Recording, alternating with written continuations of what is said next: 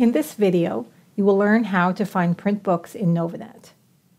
Start at the Dal Libraries homepage, libraries.dal.ca, and use the Novanet Basic Search on the homepage. Enter relevant keywords or the title of a book into the search bar to find what you need.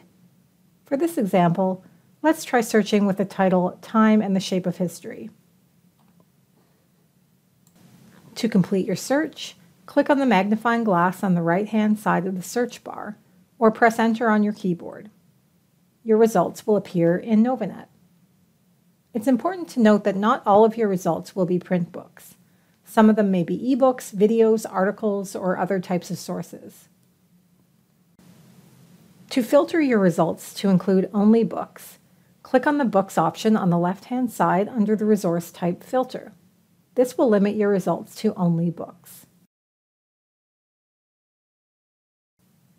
If the library has a print copy, you should see an Available At link that indicates that the book is available at a particular library. For example, Time and the Shape of History is available at the Killam Library.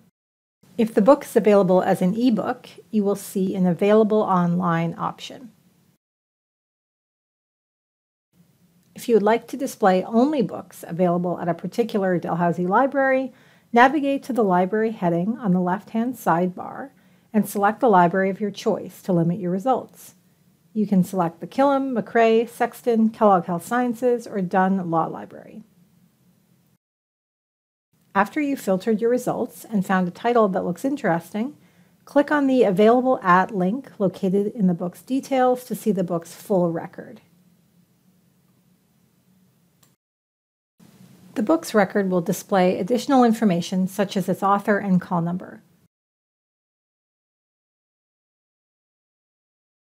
The call number is a very important piece of information because it tells you where the book is located in the library. To learn more about call numbers, check out the videos linked in the description. If the book has been checked out, you will see a note that says not available on loan. Don't worry though, you can place a hold on it. Simply click sign in to request and log in with your Dalnet ID and password. Watch our placing holds in Novanet video that is also linked in the description below for more detailed information about this process. If the book is not checked out, you can either place a hold or come to the library to retrieve it. Make note of the call number so you can find the book on the shelf, and feel free to ask if you need help finding it. Thanks for watching. For research guides, live help, other online tutorials, and contact information for the five Dalhousie libraries, check out the links in the description below.